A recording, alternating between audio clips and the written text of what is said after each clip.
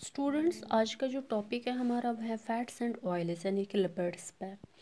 Lipids में substances जो solid होंगे रूम टेम्परेचर पे, उनको हम कहते हैं फैट्स और वो लिपिड्स जो लिक्विड होंगे रूम टेम्परेचर पे, उनको हम कहते हैं oils that means fats and oils जो हैं, इनको इकट्ठे हम लिपिड्स कहते हैं।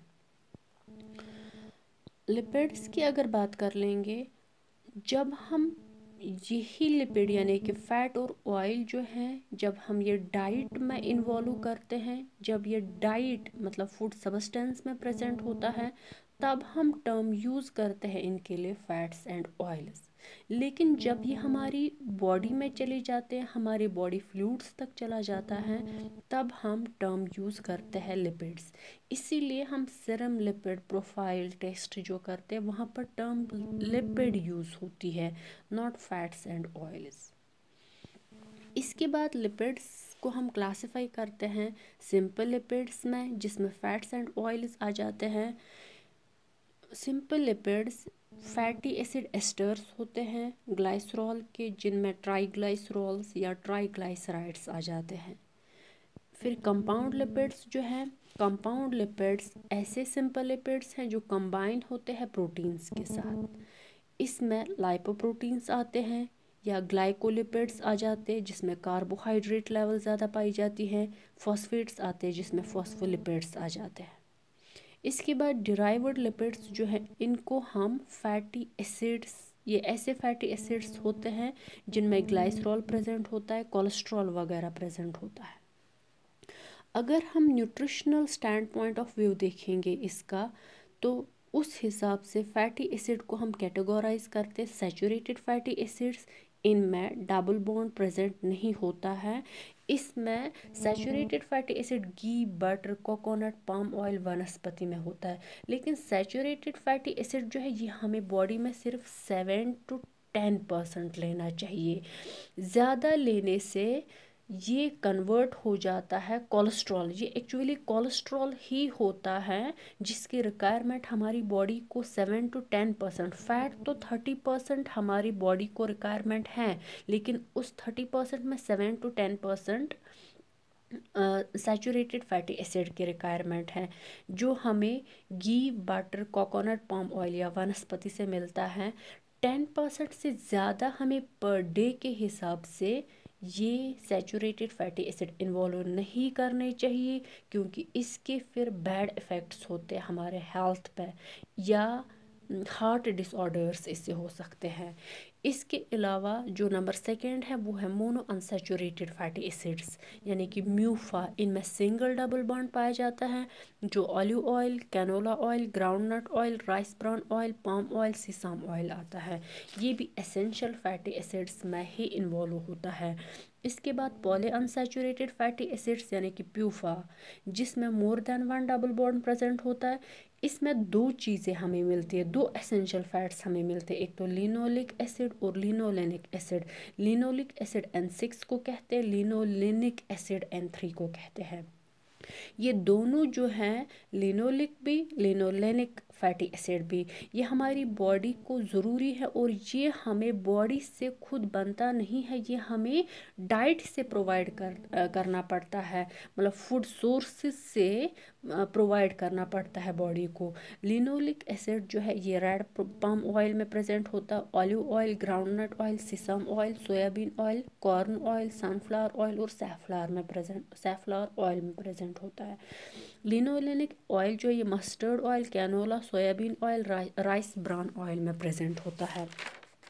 इसके बाद जो इनके अलावा और भी सोर्सेज हैं जिनमें लिपिड्स यानी कि फैट्स एंड ऑयल्स प्रेजेंट होता है लाइक वीट में ब्लैक ग्राम में बाजरा फिनोग्रीक जिसमें मीथी वगैरह आ जाती है मस्टर्ड सीड्स या फ़िश में भी ये प्रेजेंट होता है।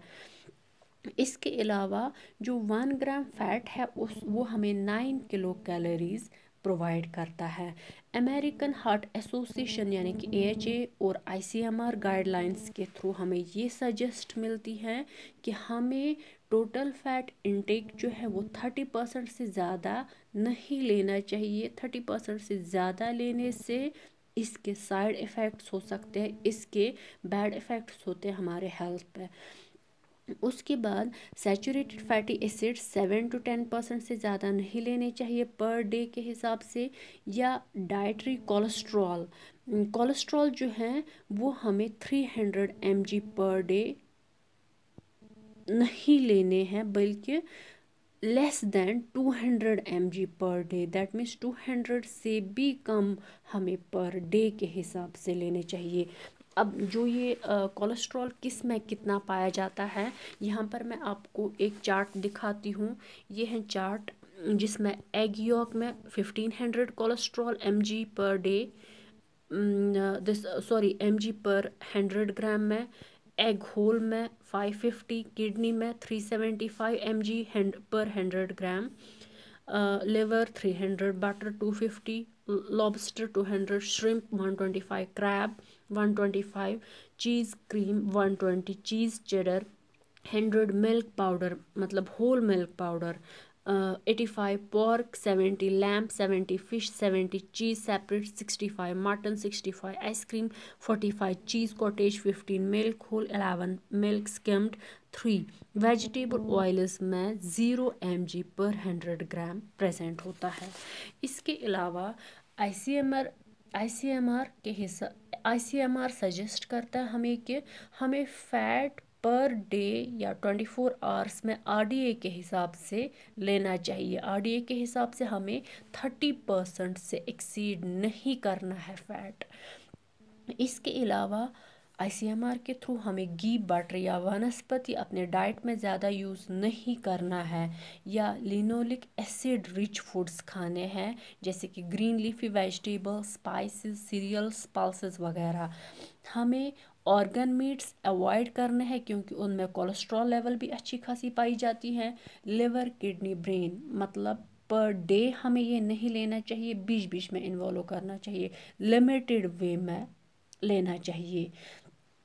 इसके बाद फ़िश यूज़ करनी चाहिए फ्रीकेंटली फ़िश लेनी चाहिए डाइट में frequently as comparison to meat and poultry क्योंकि मीट और पोल्ट्री में बैड कोलेस्ट्रॉल भी प्रेजेंट होता है। इसके अलावा स्किम्ड मिल्क और लो फैट मिल्क हमें लेना चाहिए instead of whole milk thank you next lecture में हम पढ़ेंगे फ़ंक्शंस ऑफ़ द फैट्स यानी कि oils and fats lipids. Thank you